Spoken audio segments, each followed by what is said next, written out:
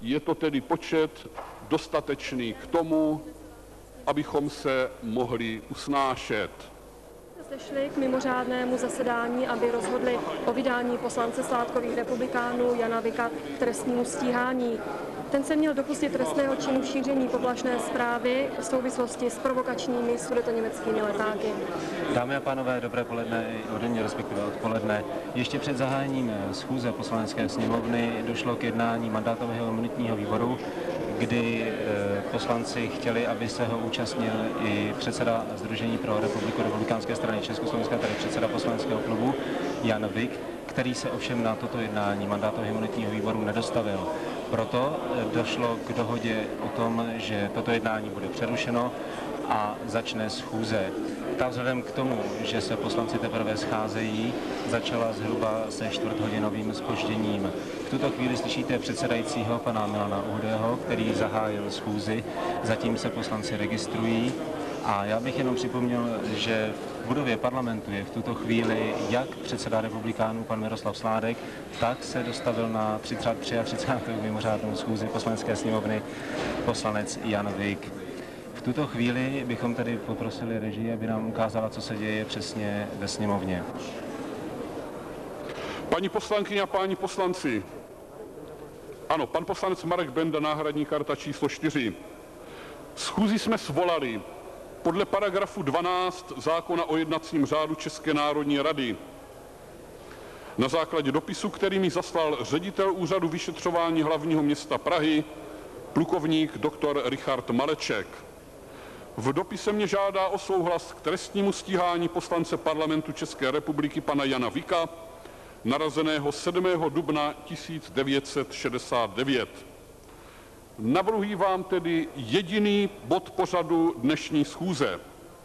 Je to žádost úřadu vyšetřování hlavního města Prahy o souhlas s trestním stíháním poslance poslanecké sněmovny parlamentu České republiky pana Jana Vika, narozeného 7. dubna 1969. Mám k této věci první přihlášku do rozpravy, podalí pan poslanec Milan Loukota a dostane příležitost promluvit. Táží se, kdo se dále hlásí do, rozpravu, do rozpravy týkající se pořadu schůze. Pan poslanec Opatřil také chce mluvit eh, k pořadu schůze, předpokládám. Dále pan poslanec Gross. Prosím, aby se ujal slova pan poslanec Milan Loukot a připraví se pan poslanec Opatřil.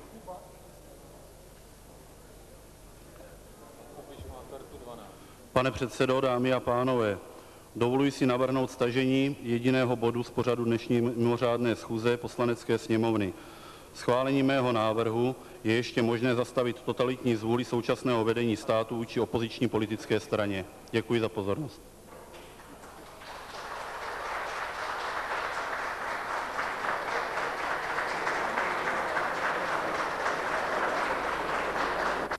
Já jsem nucen upozornit, že potlesky z galerie nejsou přípustné v této sněmovně a nebudu je trpět.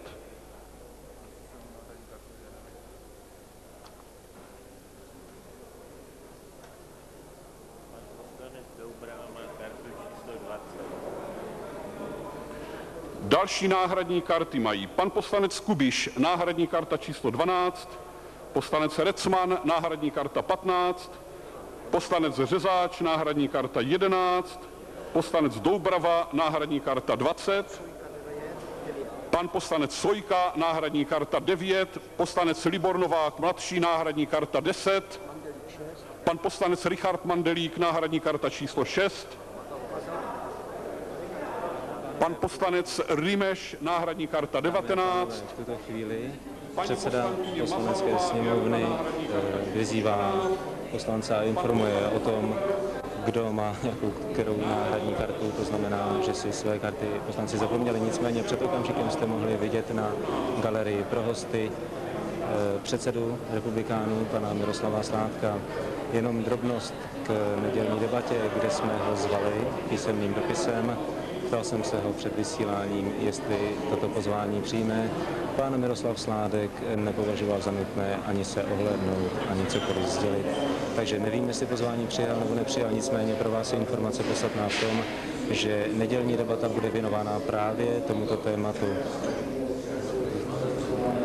V tuto chvíli mluví poslanec za Českou unii středu, pan Opatřil. Parlamentní zasedání za uzavřený. Zdůvodnění je prosté.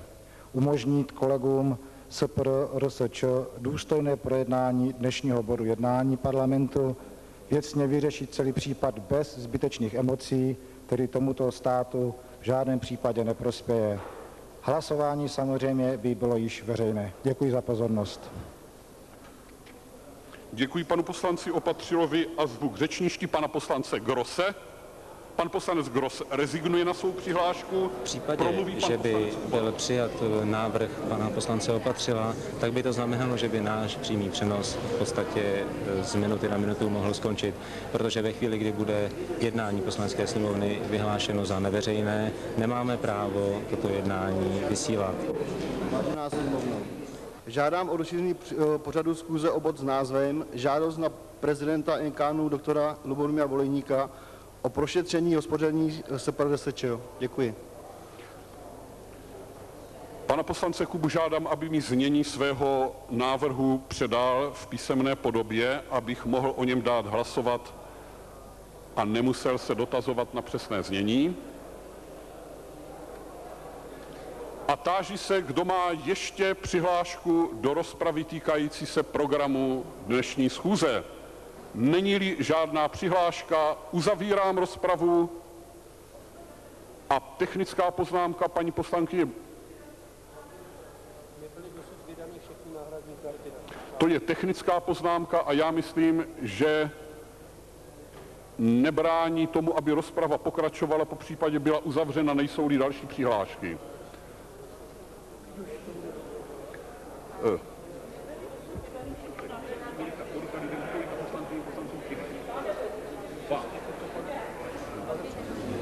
Poslanec Kuba, který vystoupil ještě před okamžikem, je poslancem, který se veřejně asi tak před třemi nedělemi distancoval od politiky Miroslava Sládka ovšem eh, odmítl vystoupit z klubu Združení pro republiku republikánské strany Československa, a to především z toho důvodu, že tento klub by se jeho odchodem rozpadl a to proto, že poslanecký klub musí mít nejméně pět členů. Možná je zajímavé zmínit, že poslanecký klub Združení pro republiku republikánské strany Československa bezprostředně po volbách v roce 1992 měl 16 členů. Dnes jich má pět. poslanců.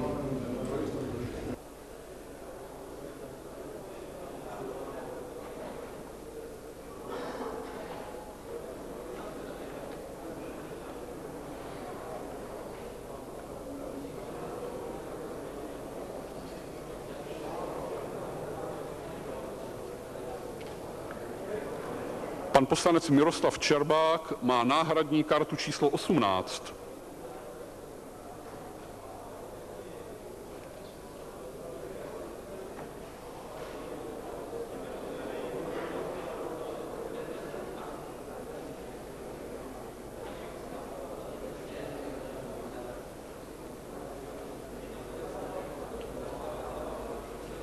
Dámy a pánové, v tuto chvíli jistě sami vidíte, že Pan ve sněmovně je jako zjevně vůle k tomu samotné zahájení projednávání bodu, respektive zbavení imunity Prosím, poslance Jana Vika, co nejdále zdržet. Já si dovolím využít té přestávky technické, kdy se čeká na vydání náhradních karet a poprosil bych o desetiminutovou pauzu na porodu klubu k technickému nebo procedurálnímu návrhu kolegy Opatřila o jednání veřejném či neveřejném. Myslím si, že je to poměrně zásadní návrh a že by kluby k němu měly zaujmout stanovisko. Já se domnívám, že není třeba dát o tom hlasovat, že je to v rámci úmluvy, kterou eh, jsme vždycky dodrželi a vyhlašují tedy desetiminutovou přestávku na kluby. Je zhruba 14.20, pokračujeme 14.30. 14.30 pokračujeme, náhradní karty budou mezi tím rozdány nebo už byly. Paní poslankyně Pusková, 20. Dámy a pánové, v tuto chvíli jste sami jistě slyšeli, že předseda sněmovny Milan Uhde přerušil projednávání eh, nebo zasedání poslanecké sněmovny a to především na základě požadavku předsedy klubu České strany sociálně demokratické, pana Stanislava Grosse. My pro tento případ máme připravenou jakousi improvizovanou diskuzi nebo debatu s našimi některými čelnými osobnostmi o institutu poslanecké imunity, o tom, co může znamenat případné zbavení poslance Vika poslanecké imunity, zda se jedná o, o politický precedent, anebo ne. V tuto chvíli se nám e, zatím nedaří naše hosty sehnat, protože jednání ve sněmovně je příliš dramatické a hosti se nám tu trošku rozprchli. Já bych přesto poprosil režii, aby nám zůstala ve sněmovně, kde sice poslanci odcházejí, nicméně v tuto chvíli vidíme poslance Jana Vika, jak diskutuje se svými, se svými nebo se členy svého poslaneckého klubu a pravděpodobně se, se s nimi domlouvá asi na další taktice postupu, co a jak. Vidíme tam i poslance Valentu, který je členem mandátového a imunitního výboru, který by se měl sejít pravděpodobně po přestávce pro jednání poslaneckých klubů. Za chviličku se nám asi sněmovna úplně vyprázdní. Já jenom doufám, že se nám podaří sehnat naše hosty, kterými by měli být pan Jiří Dinsbír, bývalý ministr zahraničních věcí a současný předseda svobodných demokratů. Pak by to měl být eh, poslanec, bývalý poslanec České národní rady, pan Palkoska, který velmi spolupracoval nebo v podstatě byl jedním z navrhovatelů zákona na ochranu veřejného zájmu. A máme tu už prvního hosta, pana Dinsbíra. Dalším naším hostem by měl být eh, pan předseda mandátového a imunitního výboru Miroslav Čerbák, ale jak se tak rozlížím tady ve foje, tak ho zatím nevidím. Nicméně já bych poprosil ještě o chviličku strpení, kdy se přesunu k jinému stolu. Eh, zatím tedy eh, ponechám vám, vážení diváci, abyste sledovali jak to vypadá, když se sněmovna vyprázdní a co se děje, řekněme, ve foaje před sněmovnou. Prosím proto i režii, aby nám ukázala pár obrázků.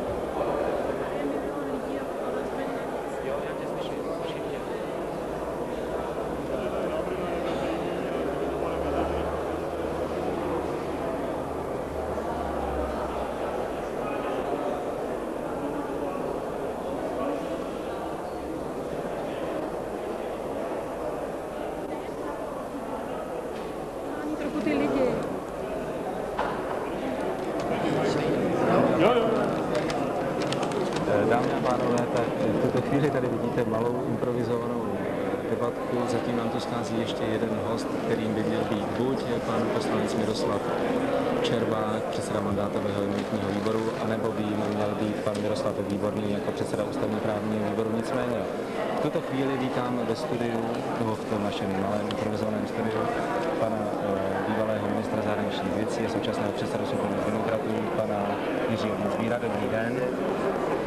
A dalším naším hostem je Dalším naším hostem je pan Ivo Palkovská, bývalý poslanec České národní rady, nyní advokát. Dobrý den. V tuto chvíli poprosil režii, protože se nám podařilo ještě dopoledne sehnat vyjádření k celé problematice šéfa kanceláře prezidenta republiky, pana Luboše Dobrovského, aby nám tu ukázku pustila.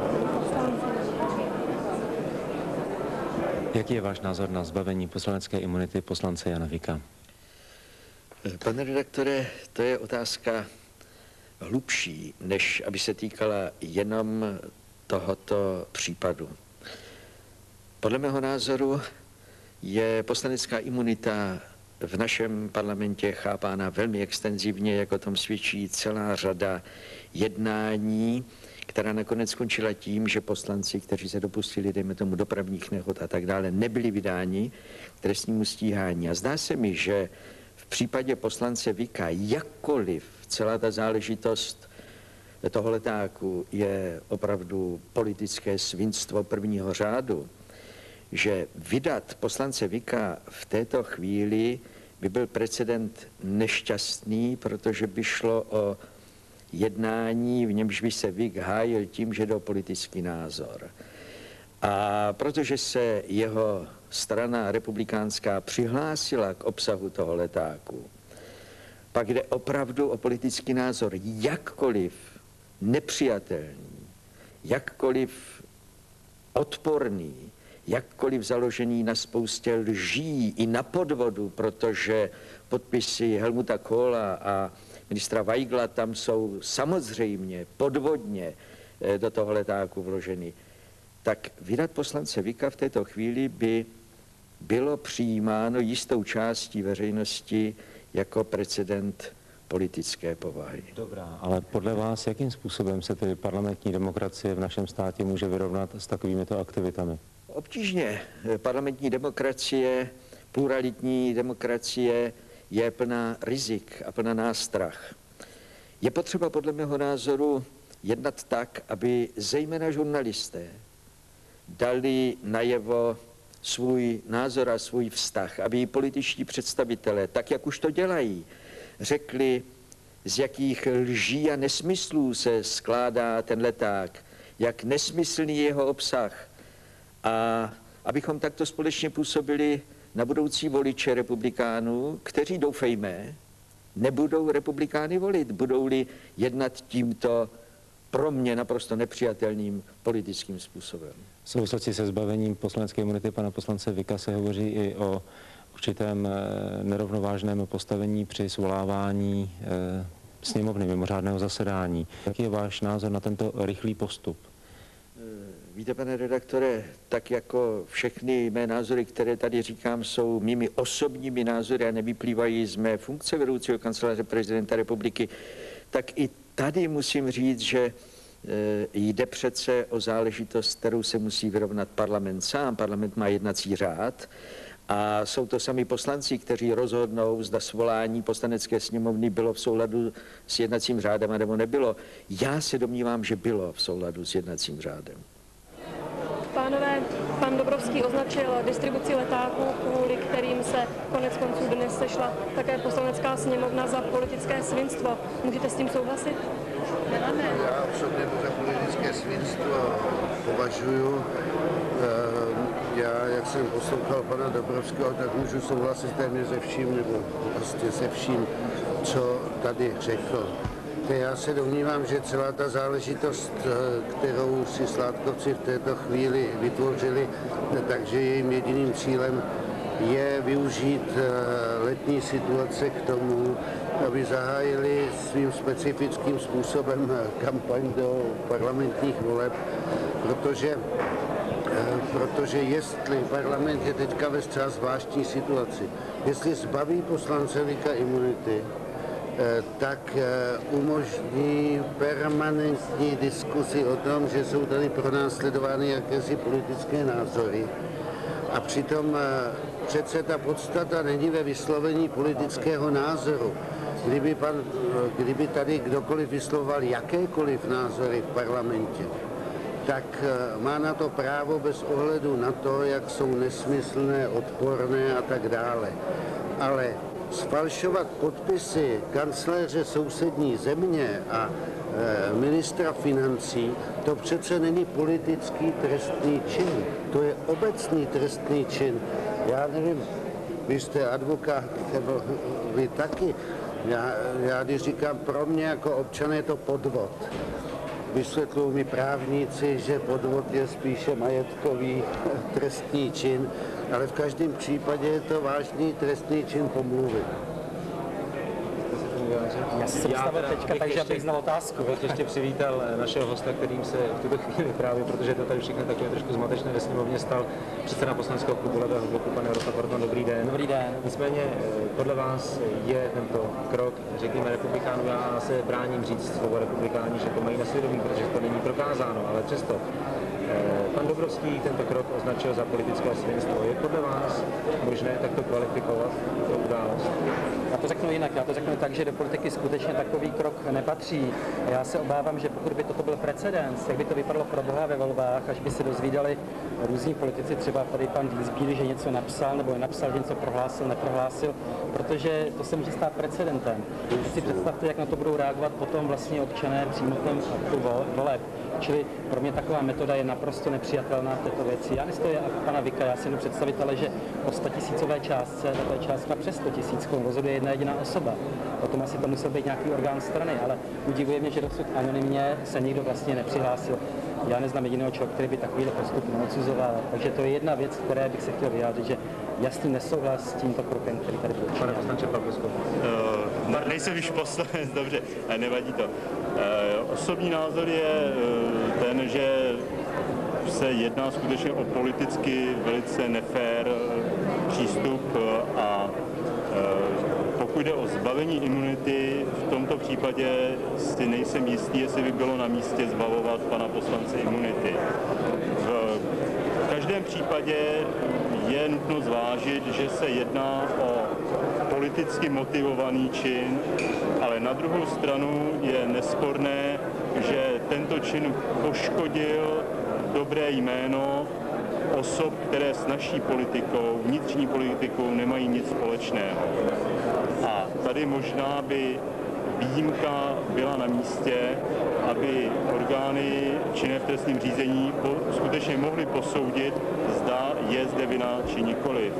Ale v každém případě se domnívám, že je možné, aby eh, bylo zjištěno, že na přípravě této akce se podílely další osoby a tyto další osoby je možno bez jakého, jakýchkoliv skrupulí potrestat podle práva.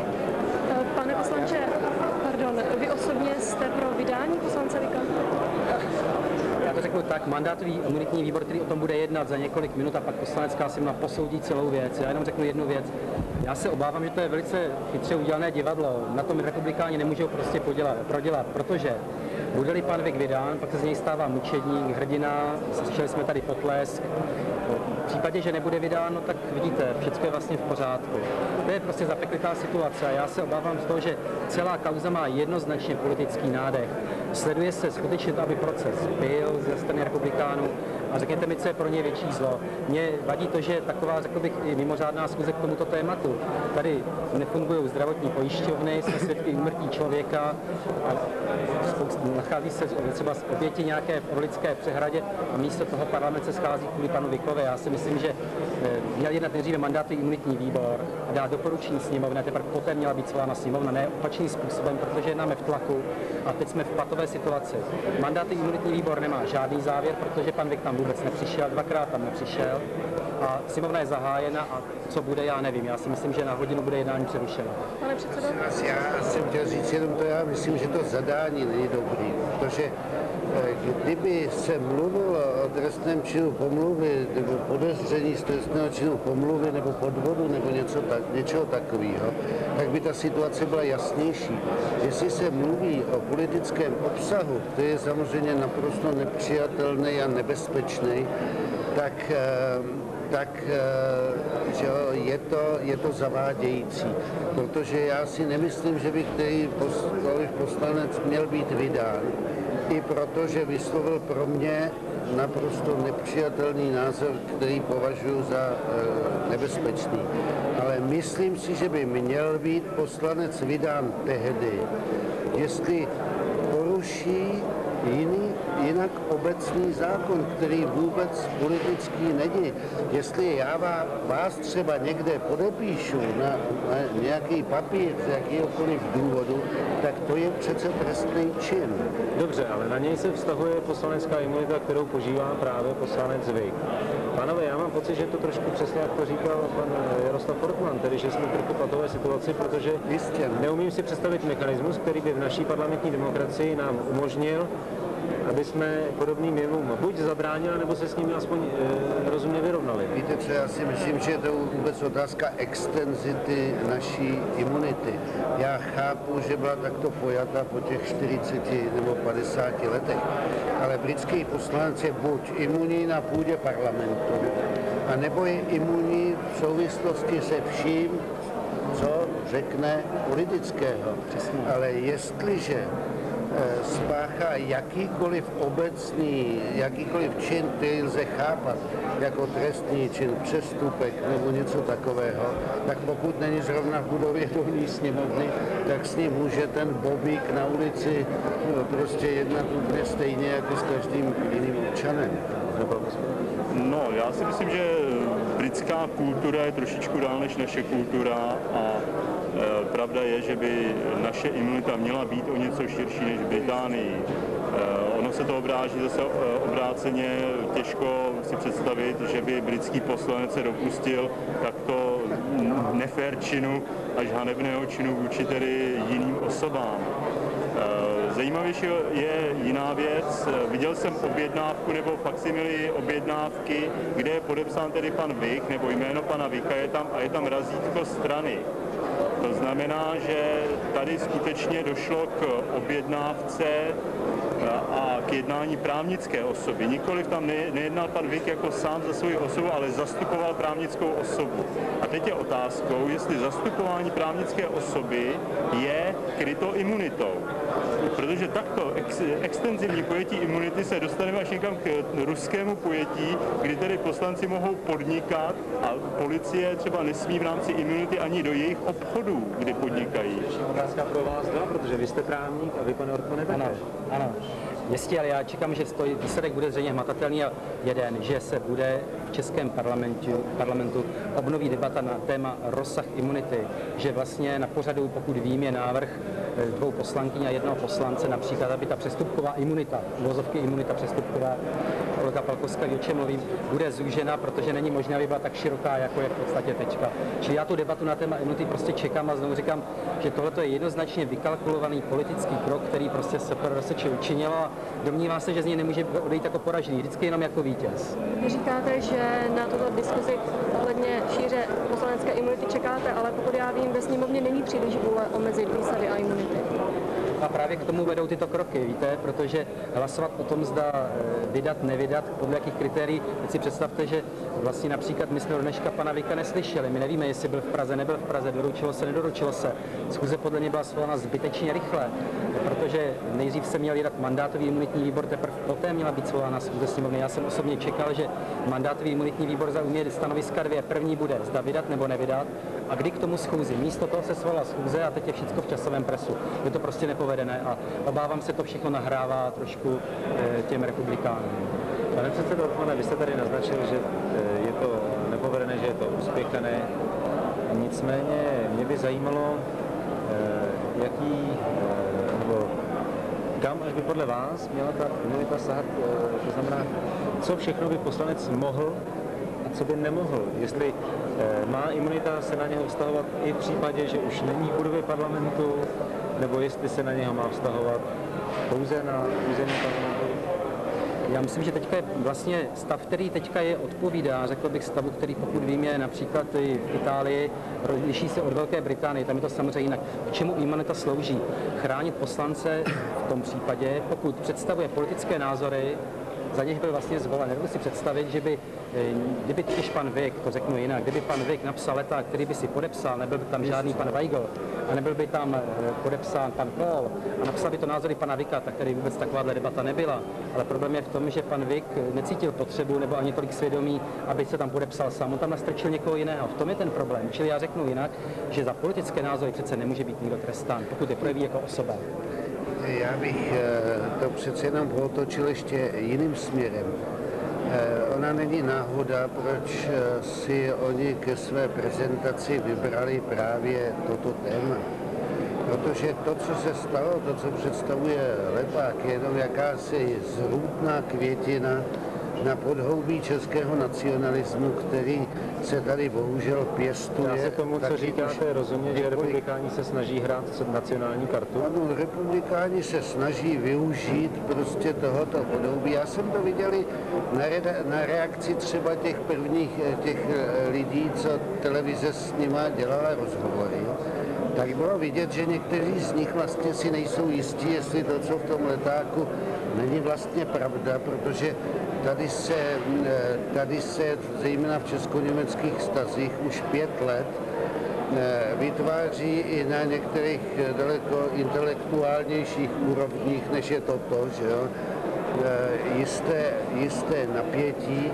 A já si myslím, že je třeba proti tomu zásadně bojovat ve všech formách. A tento případ, tento případ nám jenom ukazuje, kam až můžou ty věci dojít, když se tu s touto německou kartou pořád hraje. Dobrá, vy jste řekl, že s nimi musíme bojovat, ale pánové, z toho, co tady slyším a to, co vidím, co zažívám dnes a denně v parlamentu, tak mi to připadá, že těch prostředků na ten boj, demokratický boj s těmito aktivitami prostě je, když ne málo, takže nejsou skoro žádné.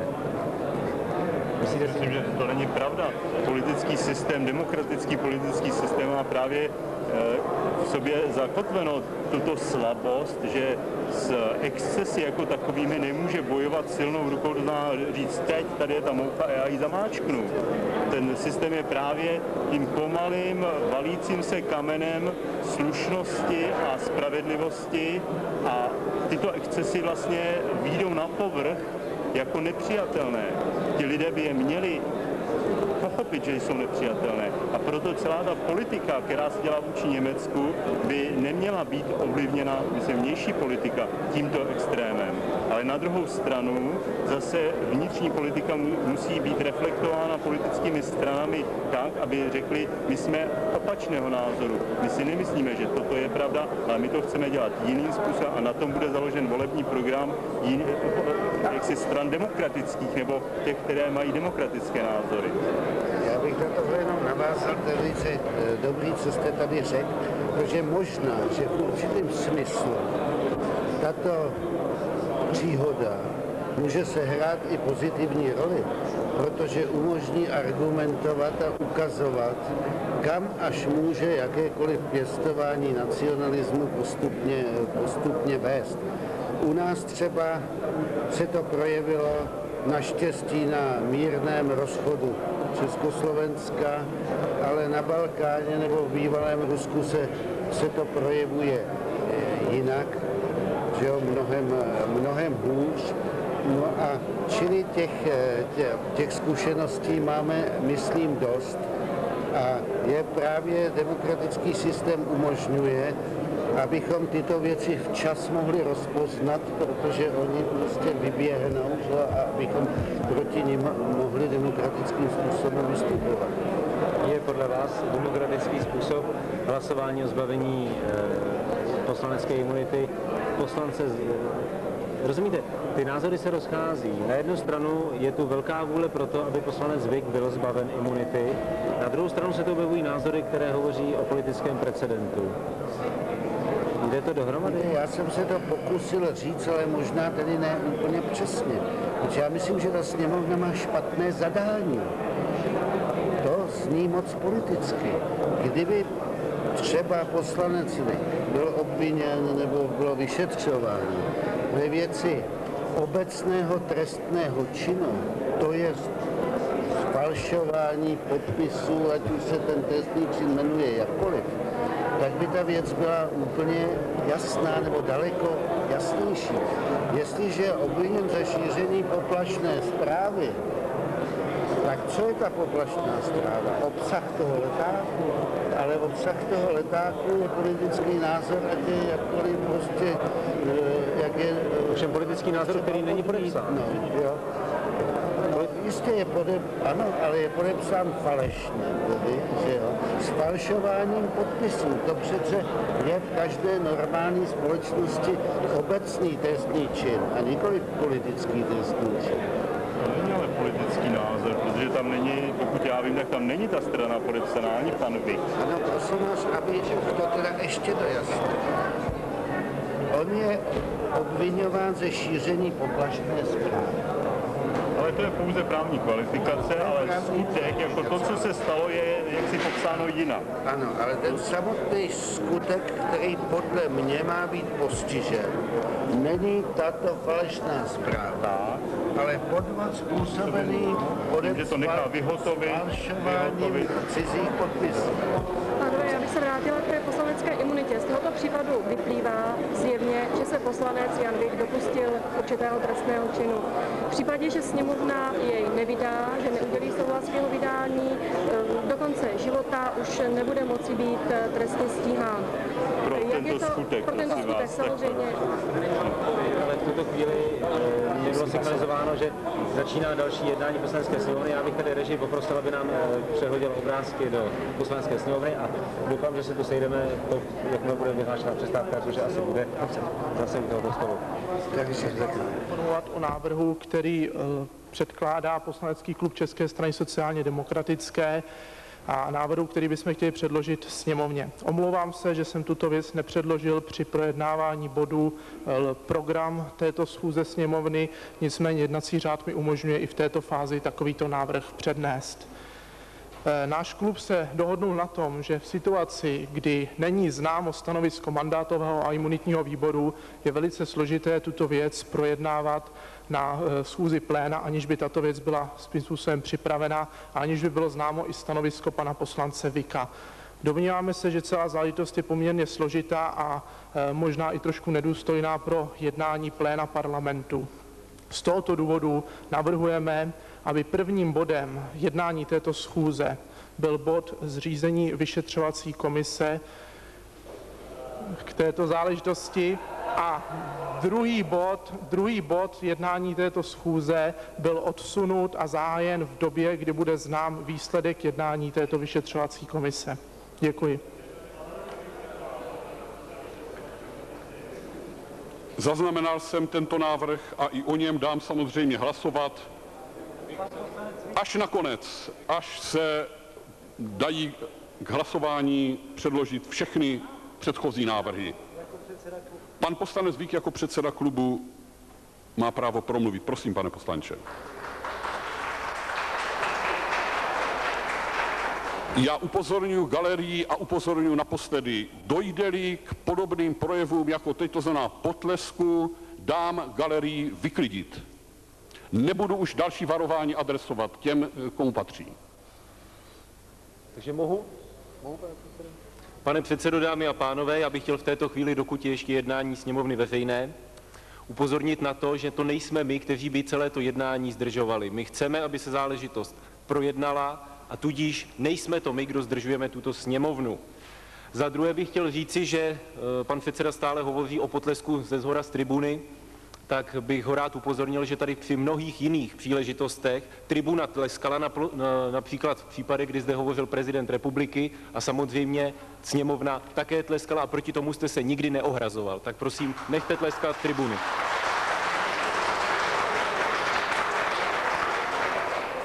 Já prosím pracovníky policejní ochrany, aby vyklidili galerii, vyklidili rušivé elementy z galerie.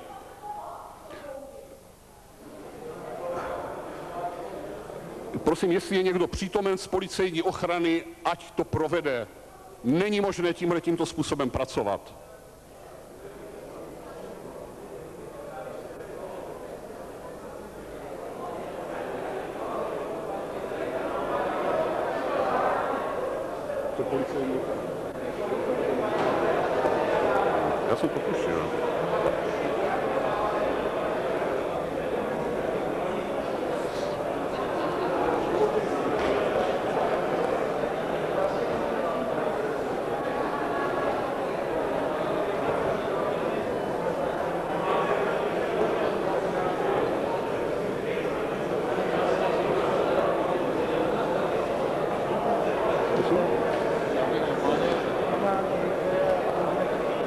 Vážení diváci, jak se mi můžete eh, v tuto Dám hlasovat o sledovat, prvním návrhu, tak který byl atmosféra v rozpravě sněmovně je velice houstné a musím se přiznat, že za dobu, po kterou jsem v poslanecké sněmovně jako Pan parlamentní zpravodaj, jsem něco podobného nezažil.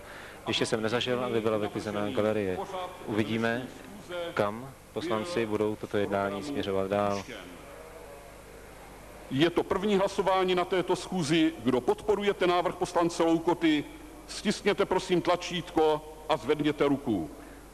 Vypuštění tohoto bodu by znamenalo v podstatě ukončení 33. mimořádné schůze. Kdo je proti to znamená, tomuto návrhu? že pokud tento návrh bude podpořen poslaneckou sněmovnou v potřebné většině, bude v podstatě ukončena Kdo se zdržel hlasování?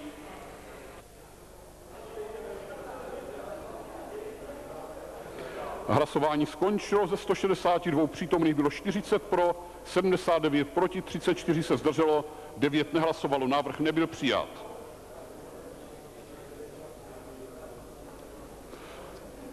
Dále navrhl pan poslanec Rudolf Opatřil procedurálně, aby toto zasedání poslanecké sněmovny, její 34. schůze, bylo prohlášeno za neveřejné. Je tomu tak, pane poslanče? Za uzavřené.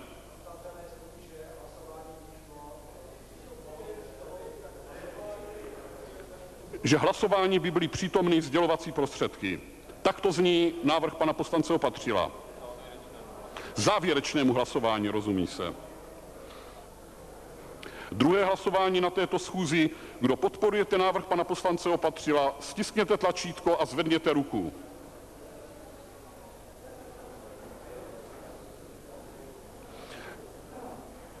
Kdo je proti tomuto návrhu? Kdo se zdržel hlasování? Tento návrh projde, tak pravděpodobně skončí náš přímý přenos. Uvidíme, jak se poslanci rozhodli. Hlasování skončilo, ze 164 přítomných bylo 42 pro, 72 proti, 42 se zdrželo, 8 nehlasovalo. Návrh nebyl přijat. Veřejnost tohoto hlasování, Pan poslanec Gross má faktickou poznámku.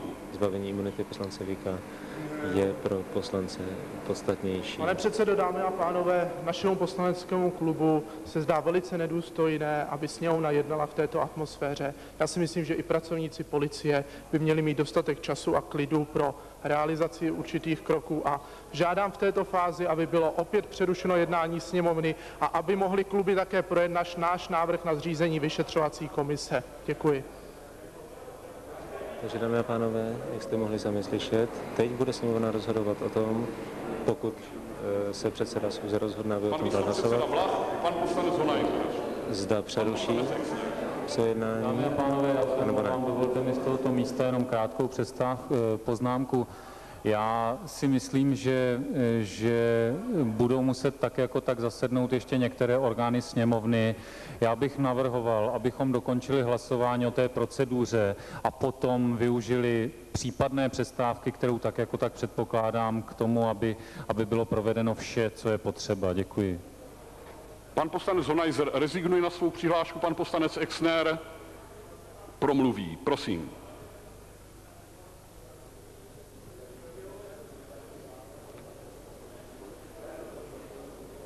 Pane předsedo, vážené kolegyně, vážení kolegové, dovolte mě, abych jménem poslaneckého klubu komunistické strany Čech a Moravy konstatoval, že nesouhlasíme s rozhodnutím předsedy poslanecké sněmovny o vyklízení galerie v této chvíli.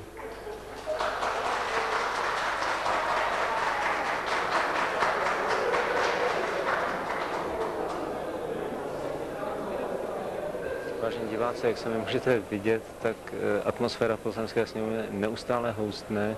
Pan Je poslanec zcela Kuba zřetelné, že řada poslaneckých klubů navrhl, se snaží aby byl preferovat své politické postoje a pravděpodobně využívá i toho, že názvem. je toto jednání Žádost na vysíláno živě. prezidenta NKU doktora Lubomíra Voleníka o prošetření hospodaření Združení pro republiku Republikánské strany Československa. Třetí hlasování na této schůzi. Kdo podporujete návrh poslance Kuby, stiskněte tlačítko a zvedněte ruku.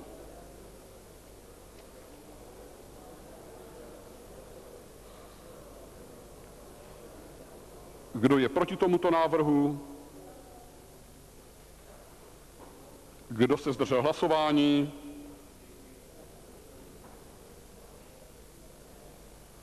Třetí hlasování skončilo ze 161 přítomných, bylo 24 pro, 38 proti, 92 se zdrželo, 7 nehlasovalo. Návrh nebyl přijat. Je třeba Dále připomenout, že navrhl poslanec pan eh, Bohumil poslanec Stanislav Kuba je poslancem, který se před časem právě byla- distancoval od politiky Miroslava Slávka s tím, že už nehodlá mít 34. s touto politikou nic společného, nicméně zůstal v poslaneckém ve věci klubu eh, republikánů. Zbavení imunity poslance Jana Vika nikoli. Prosím vás pěkně, nedal jste mi písemné znění svého návrhu, buďte tak laskav a upřesněte jej.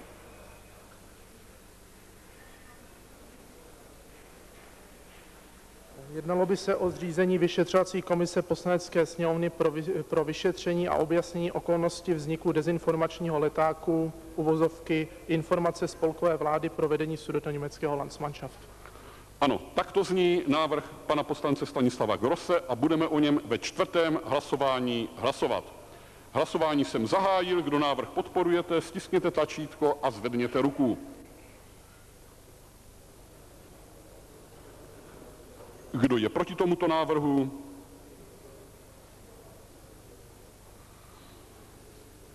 Kdo se zdržel hlasování? Čtvrté hlasování skončilo ze 162 přítomných, bylo 34 pro, 82 proti, 42 se zdrželo, 4 nehlasovali. Ani tento návrh nebyl přijat. Dále v rozpravě promluvil pan poslanec Jan Vik, nepřednesl však žádný doplňující ani pozměňující návrh. Byly tedy vyčerpány v hlasování všechny předložené návrhy a mě zbývá, než předložit vašemu hlasování návrh na jediný bod pořadu dnešní 34. schůze. To je žádost úřadu vyšetřování hlavního města Prahy o souhlas s trestním stíháním poslance poslanecké sněmovny parlamentu České republiky pana Jana Vika, narozeného 7. dubna 1969. Páté hlasování na této schůzi. Kdo podporujete tento návrh, stiskněte prosím tlačítko a zvedněte ruku.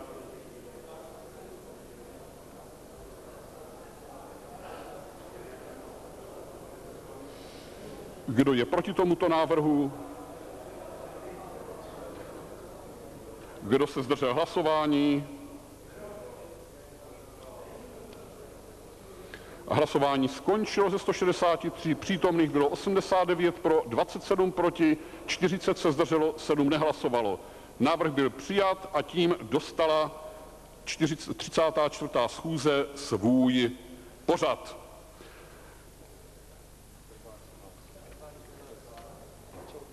Hlásí se do rozpravy pan poslanec Miroslav Čerbák. Já bych jenom úvodem rád poznamenal, mluvím již k prvnímu bodu, že jste dostali na lavice opis dopisu ředitele úřadu vyšetřování hlavního města Prahy. Obsahem tohoto dopisu se zabýval minulý týden mandátový a imunitní výbor poslanecké sněmovny. Své jednání v pátek 21. července přerušil a v jednání pokračoval dnes. Nyní tedy je na panu předsedovi mandátového a imunitního výboru poslanci Miroslavu Čerbákovi, aby informoval sněmovnu o jednání i závěrech mandátového výboru. Prosím, pane poslanče, máte slovo.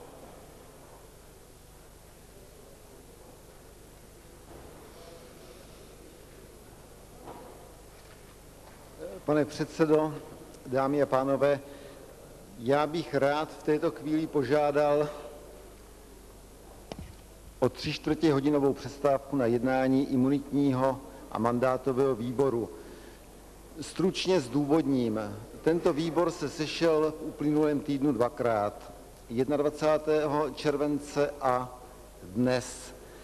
Ani v jednom případě se nedostavil na jednání výboru poslanec Jan Vik, o kterém se jednalo. Podle zákona o jednacím řádu má, mandá, má mandátově imunitní výbor poskytnout možnost poslanci, o kterém se jedná, aby se k věci vyjádřil. Poněvadž eh, my jsme pana poslance Vika opakovaně zvali, ale nemáme žádný doklad, že některé z našich pozvání skutečně dostal.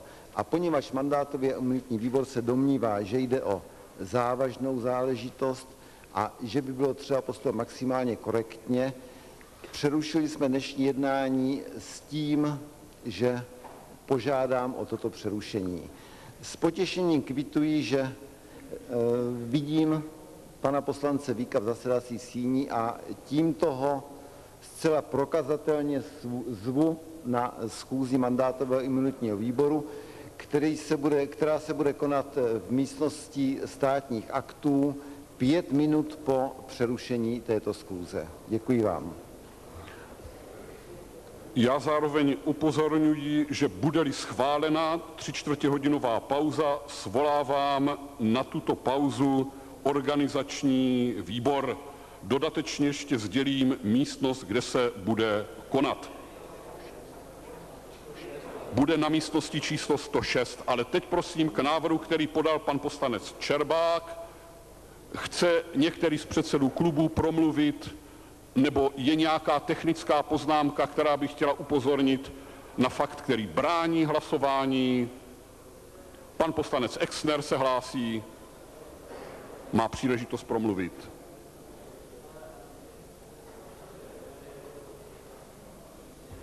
Pane předsedo, já navrhuji, aby po té přestávce na jednání výboru mandátového a minutního byla ještě krátká přestávka na projednání výsledků v jednotlivých klubech Navrhuji na to 20 minut. Já se domnívám, pane poslanče, že po jednání mandátového imunitního výboru zahájíme jednání, seznámíme se ze stanoviskem mandátového imunitního výboru a poté samozřejmě uděláme pauzu tak dlouhou na jednání klubu, jak budete žádat nebo jak budou žádat další předsedové. Rozumím vám správně, nebo jste to mysleli jinak? S takovouto modifikací návrhu souhlasím. Ano, tak není už další překážky v hlasování je pan poslanec Vik, chce promluvit. Prosím.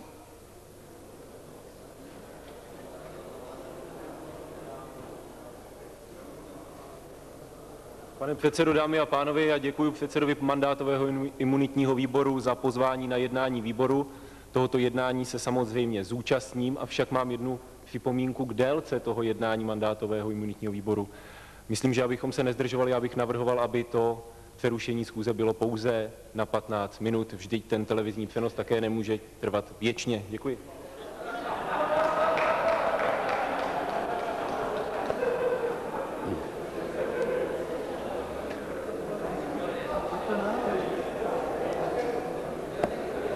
Jako první dám hlasovat o návrhu předsedy mandátového a imunitního výboru.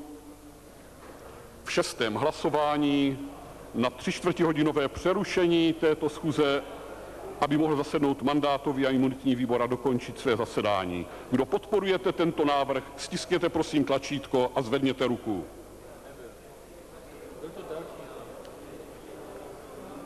Kdo je proti tomuto návrhu?